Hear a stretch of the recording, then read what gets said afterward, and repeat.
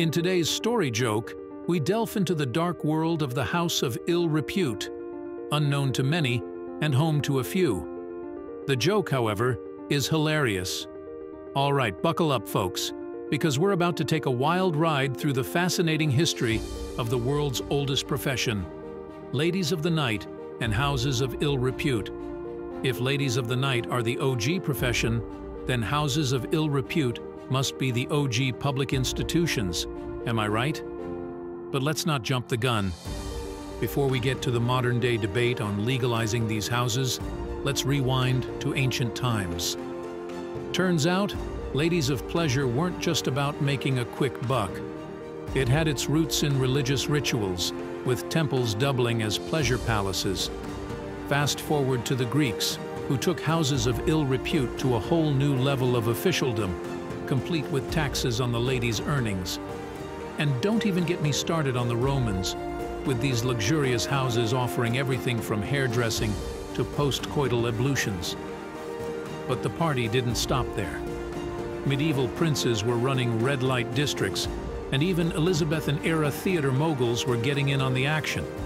Throughout history, we've seen countries swing between permissiveness and prohibition.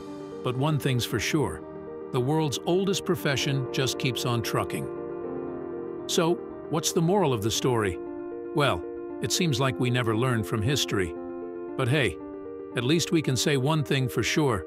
When it comes to the world's oldest profession, there's never a dull moment. All right, gather around, folks, because I've got a tale that'll have you rolling on the floor with laughter faster than you can say, Natalie. So, picture this. There's this guy, right? He strolls into a house of ill repute with a gleam in his eye and a wad of cash burning a hole in his pocket. And what's his request?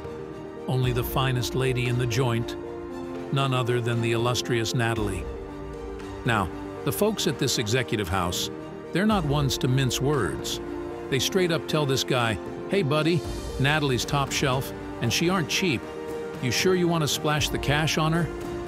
But does our hero flinch? Oh no, he's resolute. Yes, he declares with all the determination of a man on a mission. I want Natalie. And just like that, the deal's sealed. Our guy rents Natalie for a cool $2,000, making it rain like he's auditioning for a rap video. But here's the kicker. This isn't just a one-night stand affair.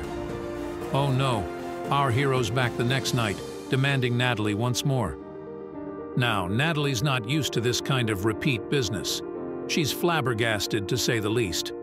Whoa there, cowboy, she probably said. Nobody's ever shelled out this much dough two nights running. But hey, if you're game, let's do this. And so, the dance continues. Night after night, our guy's back for more Natalie action, dropping $2,000 like it's pocket change. But here's where it gets juicy. On the fifth night, after their rendezvous, Natalie's feeling all warm and fuzzy inside. You know, she purrs, you must be someone pretty darn special to keep coming back like this. Where are you from? And what does our hero say? Oh, just Europe, he replies casually, as if he's about to drop the punchline of the century. And Natalie, bless her heart, takes the bait. Europe, you say. Funny you mention it. I've got family there.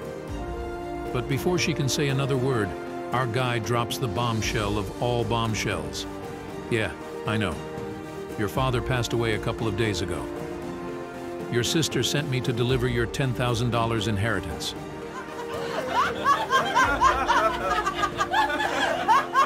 if you liked our joke, then please watch our next joke by clicking here.